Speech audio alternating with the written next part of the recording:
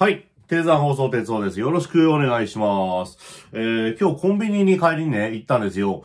急に話が始まりますけど、あの、急に、えー、あの、コンビニ帰り寄ったら、あの、たまに、あの、何百円以上買うと1枚くじが引けますみたいなのありません？あの、たまたまコンビニでなんかやってると思うんですけど、あの、それやってたんですよね。で、僕あの、まあ、その日のお酒とかタバコとか、なんかつまみみたいなのとか、いろいろ買うんですけど、あの、それで、あの、くじ、で、くじを引くとなんかその、この、くるっとひっくり返した裏側に、あの、商品が出てて、で、その商品が、あの、当たりですよ、みたいな。当たりました、交換しますかみたいな、そういうのあるんですけど、あの、今日の帰りもそれやってまして、で、あの、まあ、千何百円ぐらい買ったので、あの、くじ引けますって言われて、ああ、いや、よっしゃ、と思って、で、あの、店員さんがドンと二つ持ってきたんですよね。で、あの、お酒が入ってない方のくじ、そしてあの、このお酒がある方のくじ、あの、両方二つに二種類ありますけど、どっち、どっちにしますかっていうので、であの、もちろん僕は、じゃあお酒がある方お願いしますって言って、あの、お酒がある方のくじをパッと引いたんですよ。そしたら、あの、店員さんにやったら、あ、あの、当たってますよ、みたいな。あの、交換しますか？って僕ちょっと見えなかったんですけど、あの、まあ、なんか缶のやつだったんですよね。あの、よ、よっしゃーと思ってですね、あの、そういうのって普段買わないビールとかチューハイとかだと、あの、普段買わないけど、なんかあの、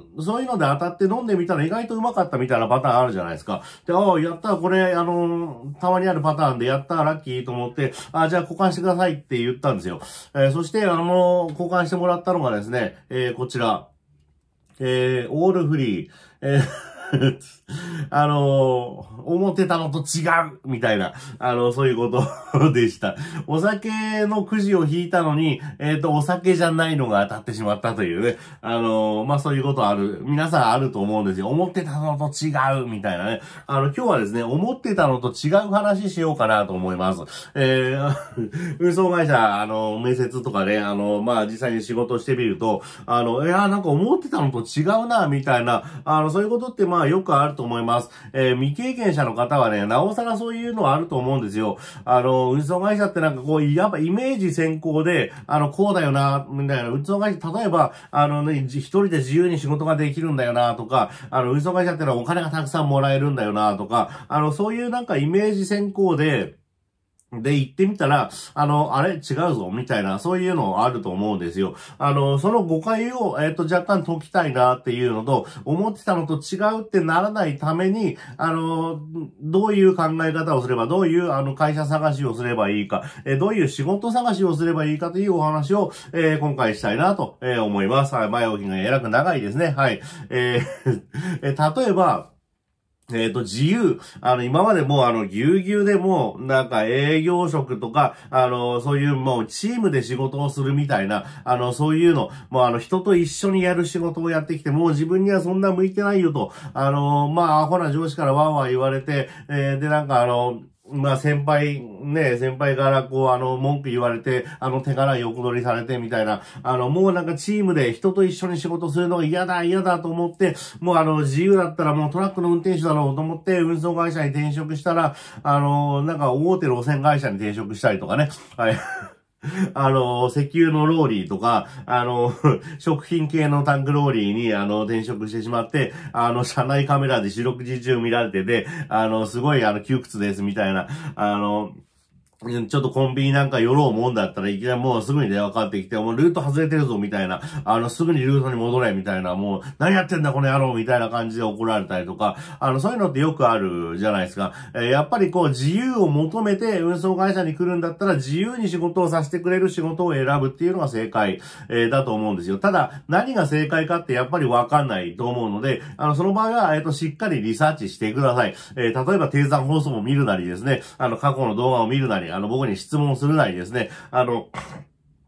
今これこれこういう仕事なんですけれども、あの、自由に仕事したい場合はどういう仕事を選んだらいいですかと、自分が何を求めているのかを提示して、えー、そこの、えっ、ー、と、提示されたのところの中から、えー、こういう仕事が向いてますよ、こういう仕事は割かし自由ですよと、あの、振り分けていく、えそういうことになると思います。え例えば自由を求めてるんだったら、あの、まあ、建材とか、えそういうのは、まあ、あとは鋼材とかもそうかもしれませんね。え割となんか、あの、おじさんが好みがちな仕事ではありますけれども、あの、現場の建築資材みたいなのを、まあ、あの、建設現場、倉庫で取って、あの、建設現場に持っていくとか、あの、フォークリフトでおろす、おろすとか、あ、まあ、平車で鋼材、えー、積んでって、その鋼材の問屋さんにおろすみたいな、あの、そういう仕事は割と、まあ、あの、自由にやらせてもらいます。どの道通ってもいいですし、あの、別に髭生やしてても変な髪型しててもですね、で、あの、まあ、変な、変な態度のおじさんもたくさんいますし、あとは、まあ、あの、まあ、現場関係だったらセメントの輸送なんかもいいかもしれませんね。えー、割と、まあ、うんと、袋のものは体力使いますけれども、あの、それなりにあの、意地悪な人はいませんし、えー、まあ、フレコンパックで下ろすっていうことになると別にあの、重機に引っ掛けて入ようってやれば、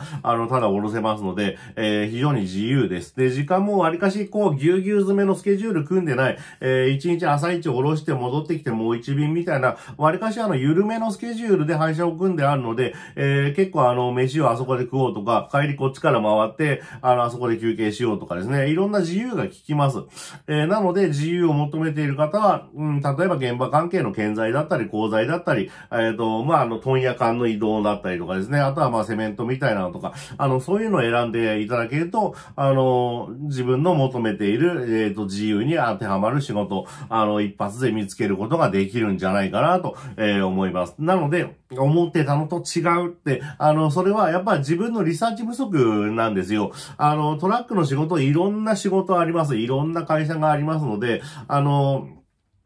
何を求めているかを、あの、自分で、ちゃんとこう、洗い出さないと、あの、まあ、とりあえず行ってみるかのパターンだと結構失敗します。例えば、えー、もう一つ例を出すと、お金を求めて、えー、さっきの例とは、えっと、また違う例ですね。あの、運送会社っていうのはとにかくあの、じゃんじゃんやれば、やっただけお金もらえるんだろう、えー、すごくお金がいいんだろう、みたいな、そういうイメージ、えー、あると思います。まあ、ある人もいるんじゃないかなと、一時期、あの、昔のトラックの、えっ、と、イメージとしては、まあ、あの、金に困ったらトラックでも転がしゃいいよ、みたいな、誰でもできんだろ、あんな仕事みたいな、そういう舐めた態度で来る人いるんですけど、あの、意外とそういう人続かないですし、え今はですね、別にあの、すべからく全部のトラックの運送会社がみんな高級取りかというと、全然そんなことないです。えー、ただ高級取りの仕事もあるし、高級取りじゃない仕事もあります。えー、そういう人が、まあ、とりあえず何でもいい、何でもいいからトラック乗れば、あの、高級なんだろう、たくさん金もらえるんだろうと思って、えー、例えばあの、スーパーのセンター便みたいなね、あの、そういう仕事やって、あの、カゴ台車でガラガラ積んでガラガラ下ろすみたいな、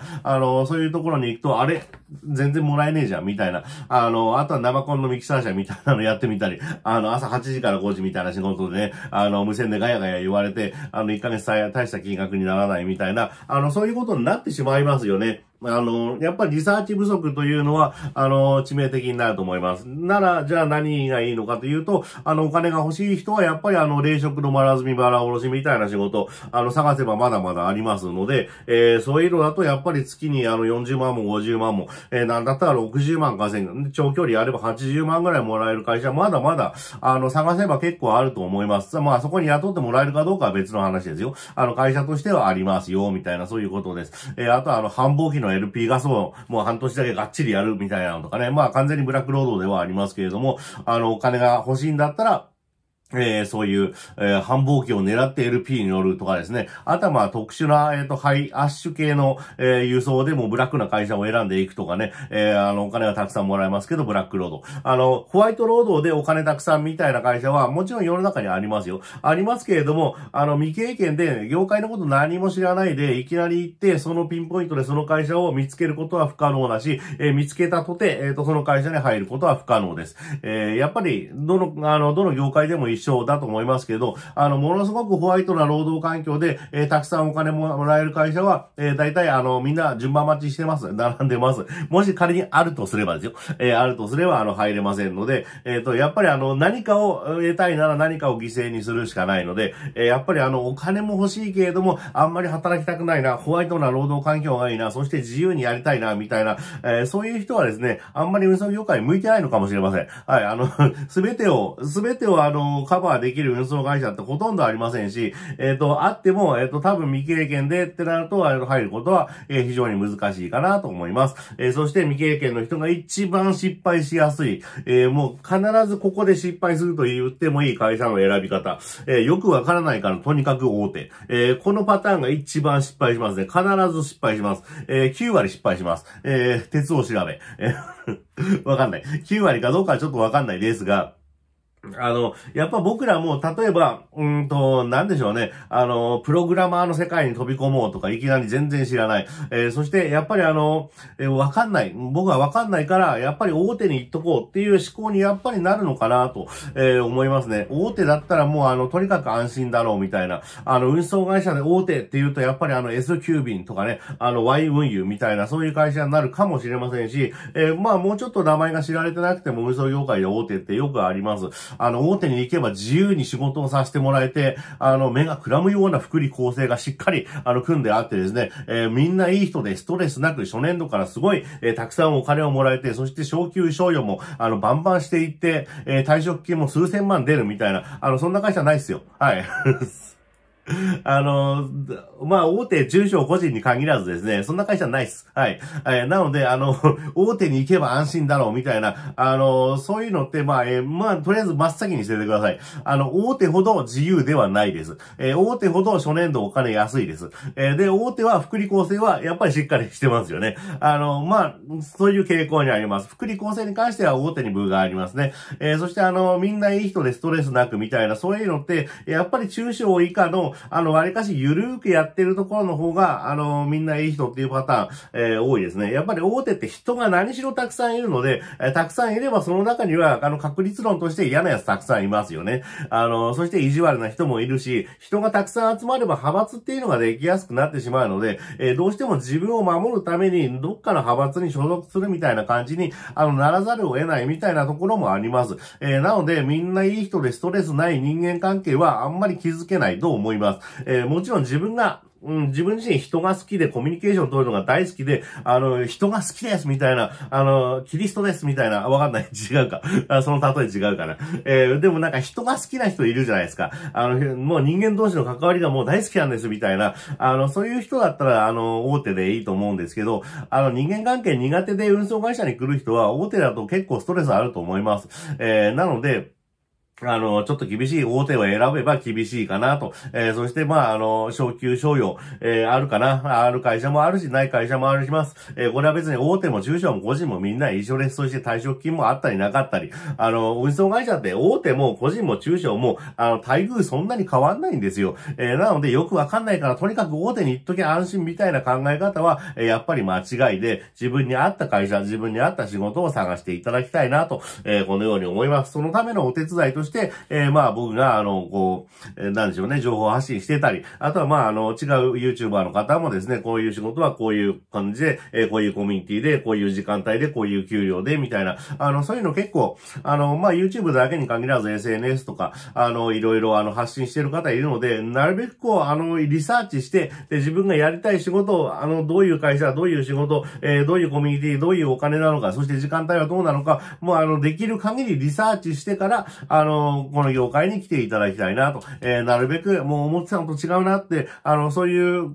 ことを経験しないように、えー、リサーチしてから来ていただきたいなと、えー、このように思います。僕に聞いていただいても結構ですし、えー、各 YouTuber さんたくさんいますので、はい、あの、調べてみてください。運送業界、あの、基本的には楽しいところですのでね。はい、えー、本日以上です。えー、ありがとうございました。ごきげんよう。